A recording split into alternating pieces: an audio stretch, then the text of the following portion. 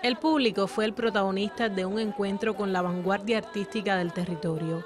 En el municipio de Cienfuegos cerró la gira que este fin de año llegó además hasta los municipios de Cumanayagua, Cruces y Palmira.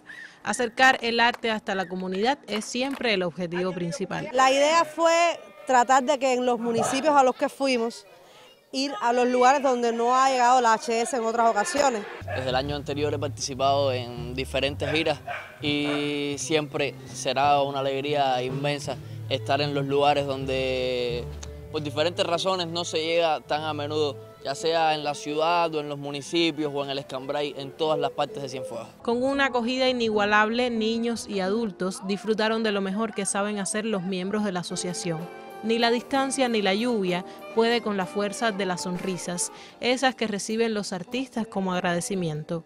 Esta es una excelente oportunidad de poder contactar con los públicos, público, eh, no el público que va a una plaza, no el público que está, el público en el barrio.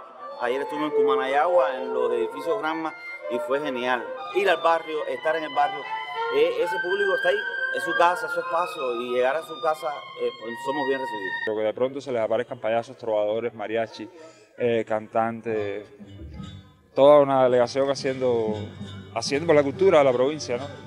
Se pone muy contento y nosotros perdemos un poco también esa, ese, vamos a decir, miedito de, llegar a lugares que, no conocemos como, como artistas. Culminó un 2022 para la Asociación Hermanos Saiz, marcado por la alegría y la socialización del arte en cada rincón de la Perla del Sur. Aliena Armas Enríquez, Sistema Informativo de la Televisión Cubana.